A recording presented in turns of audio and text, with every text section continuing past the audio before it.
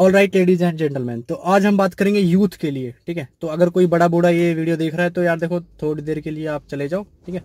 तो ये वीडियो है यूथ के लिए यूथ जनरेशन है ना जो हमारी, जो पागल हुई रहती है गर्लफ्रेंड बॉयफ्रेंड के चक्कर में, ठीक है?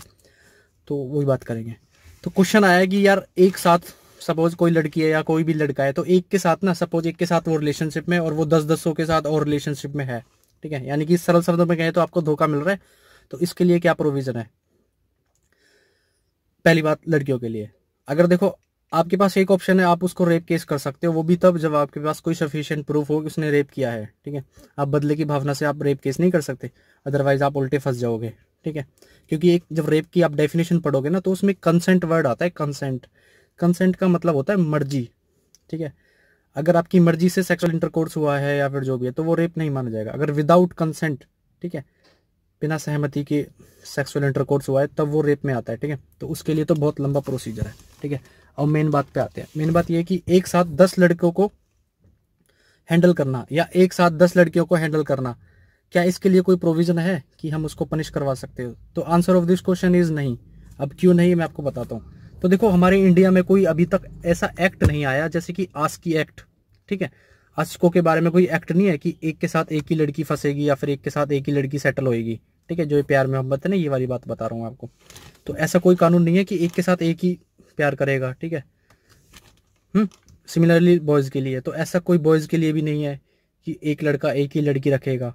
या फिर ऐसा नहीं लिखा कि दो लड़कियों के साथ नहीं रह सकता, दस लड़कियों के साथ नहीं रह सकता, ठीक है? तो आपने एक वीडियो देखा होगा, वो वायरल हुआ था बहुत, नेहा मैम का, नेहा धूपिया मैडम का। तो उसमें बोला था ना कि इट्स हर चॉइस ठीक है? तो यार देखो, वो चॉइस ही है।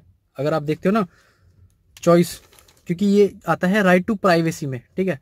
और जो राइट टू प्राइवेसी है ना आपकी, वो Puttaswamy versus union union of India वाले जो केस है ना, उसमें साफ़ बोल दिया है कि ये आपकी प्राइवेसी है, ठीक है? इसको अगर आप वॉयलेट करोगे तो ये फंडामेंटल राइट का वॉयलेशन होगा, ठीक है? तो इस चीज़ के लिए आप कहीं भी आप कोर्ट नहीं जा सकते। अगर जाओगे तो हार ही जाओगे, ठीक है? क्योंकि प्राइवेसी है, यानी कि आपकी प्राइवेसी है, आपको कुछ भी पसंद, आप कुछ भी कर सकते हो, आपकी मर्ज़ी, ठीक है? तो कोई बाउंडेशन नहीं है। आपको कल को कोई ये नहीं कहेगा कि भाई ऐसा क्यों कर रहे हो? क्यों? क्योंकि ऐसा कोई कानून नहीं है।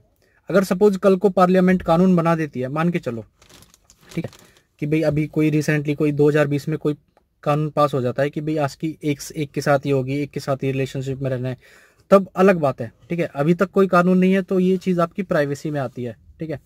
और पार्लियामेंट इतना पावरफुल है, अगर, आपको पता है, अगर पार्लियामेंट लॉ बना देना अमेंडमेंट पास करके किसी भी उसमें पोक्स एक्ट में या किसी में भी, कि तकिया के साथ जो होता है ना, पिलो पिलो के साथ ऐसे हगी करके सोना भी रेप की कैटेगरी में आएगा तो वो रेप की कैटेगरी में ही आएगा, ठीक है? समझ रहे हो आप? तो एक के साथ बेशक दस हो मतलब दस हो, या दस लड़कियों के साथ एक लड़का हो, कुछ भी हो मतलब एक लड़का एक साथ दसों को फंसा रहा हो, या एक लड़की एक के साथ बीसों को फंसा रही हो, या पंद्रह को, कोई मतलब नहीं है, ठीक है?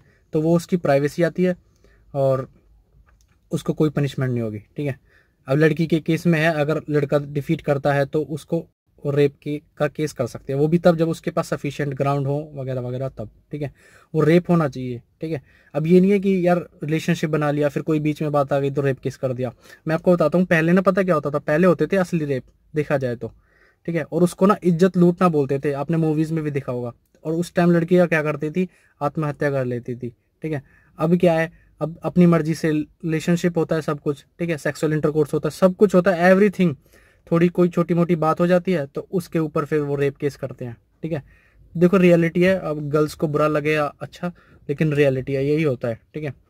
और मैं ये नहीं कह रहा कि हर कोई केस ऐसा ही होता है रेप केस भी होते हैं, बस वो माइनॉरिटी होते हैं, लेकिन जो ये फेक वाले हैं, ये ज़्यादा चल रहे हैं आजकल, ठीक है? तो इनसे बचो।